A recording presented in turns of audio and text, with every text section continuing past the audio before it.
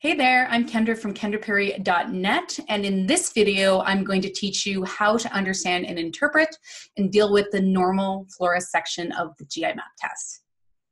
For functional health training and all the nerdy ins and outs of functional lab testing and online marketing advice to grow your health business, make sure to click the bell to subscribe to my channel and get notified when I post a video every Thursday.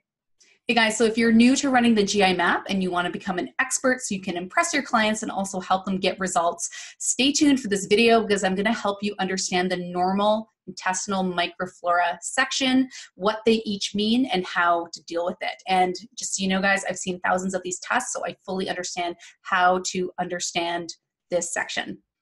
Okay guys, let's jump into it. What I'm gonna do is I'm actually just gonna share my screen so that you guys can see what we are looking at when we're looking at the normal intestinal health flora. Okay, so this is your normal bacterial flora and we're gonna be going through um, this part of uh, the normal bacterial flora. We're gonna talk about the phylum microbiota in another video. Okay, so Let's talk first about Bacteroides. Um, so this stuff actually populates the lower GI tract. Um, it's protective against certain autoimmune disorders. It helps rep repair the mucosal barrier, which is the lining of the intestine.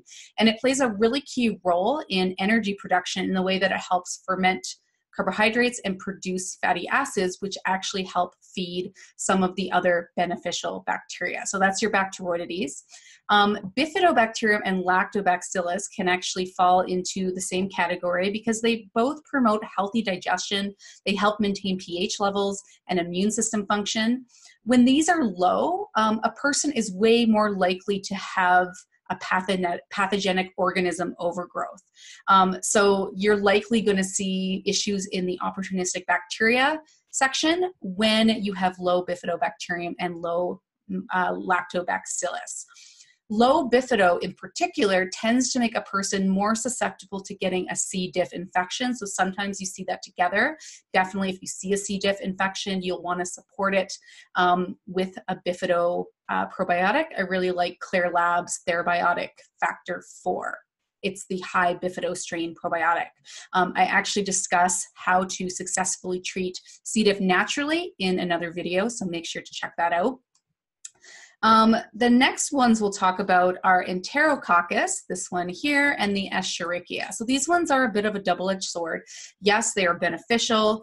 They, you know, help maintain the normal flora of the gut, but they do become opportunistic when they overgrow. So if you see these high, it typically will indicate a dysbiosis, that there is an imbalance in the flora because these two, when they're high, can actually crowd out some of the other normal bacteria flora.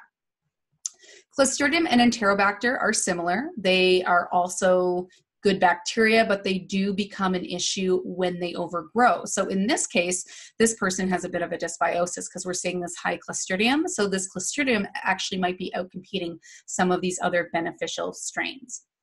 Another thing that you can pick up um, from this normal bacteria flora section is if somebody might be at risk or may potentially have a small intestine bacterial overgrowth infection. Now, keep in mind the GI map is not a test of the small intestine, and you cannot determine somebody has SIBO based off a GI map, but there are a few clues. One of them you might find in the normal bacteria flora section. So as an example, um, in hydrogen SIBO, SIBO Bacteroides, uh, Lactobacillus, um, Clostridium, Escherichia, and Enterobacter uh, can all overgrow in SIBO. So if you see some of those elevated, it might sort of tip you off like maybe this person has a SIBO infection and that's why we're seeing those um, infections as high.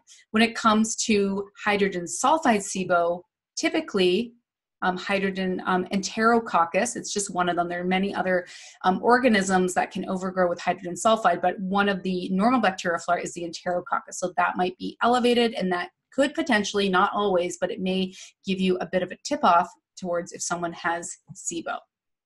Okay.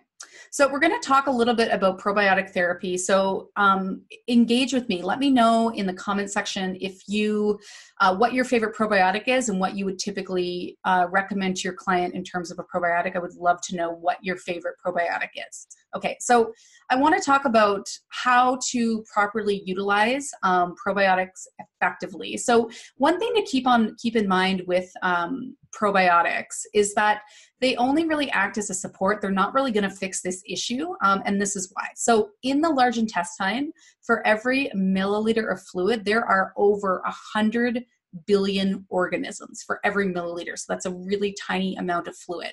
And if you look at your probiotic, I mean, best case scenario is maybe you get 10 billion, maybe you get 50 billion, maybe you get 100 billion, but that's in one capsule, right? So really, you're not going to fix imbalances in the normal bacteria flora with probiotics, but they can be a good support. Okay.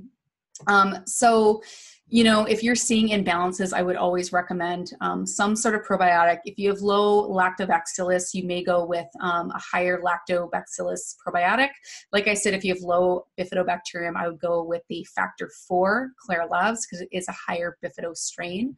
Um, with some of the other things, I would probably just go more with um, a spore based probiotic, uh, something like MegaSporeBiotic or even Thrive. Those are really good probiotics that are very hardy. Uh, they're very good good at surviving um, the acidic environment of the stomach, and they're very good at repopulating um, the gut. Okay, guys, so that's all I got. I hope that was helpful.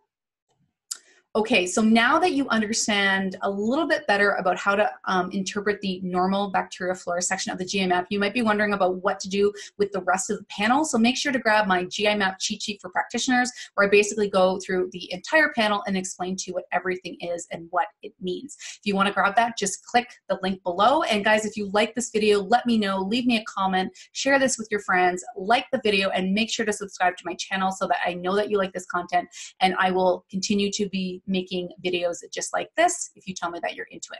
Okay, guys, I'll see you in the next video.